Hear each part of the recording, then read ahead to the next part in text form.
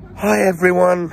um, well, I just thought I'd uh, come and do this little sort of mini vlog because I'm back where I was um, three weeks, uh, three years ago. Sorry for six weeks. Um, I am at, I'm outside on a, a table outside the Premier Inn where I was for six weeks. As some of you may remember, when there was the fire at a flat at uh, my flat complex. And I was here um, for six weeks and was the last to go back. Um, but no thankfully that's not why I'm here this time. Um, I'm here just here today because we're at the Langton Inn restaurant. Um, at the Langton Inn restaurant um, a Mother's Day meal with my mum and uh, her friend.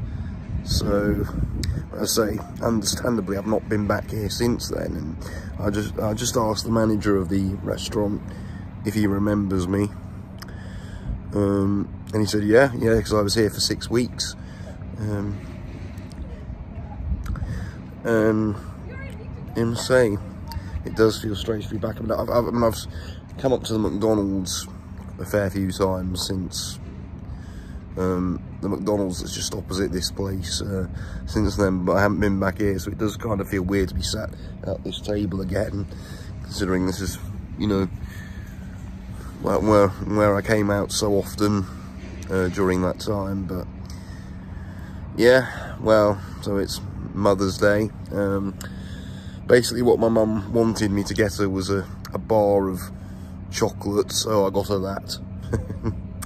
um, but yeah, she, she's happy. Um, we were just a bit concerned that the, the voucher uh, we got, because they're doing a, a two for one special today, where two meals for the price of one for a Mother's Day offer.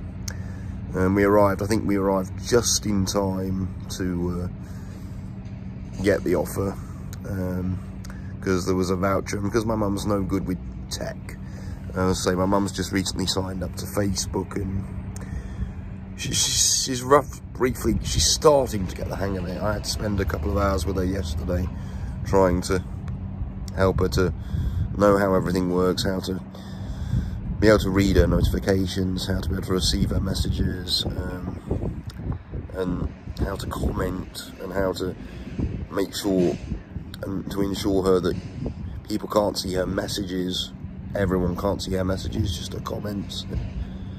Um, anyway so yep so we're gonna i'm gonna head in and uh, for the meal now.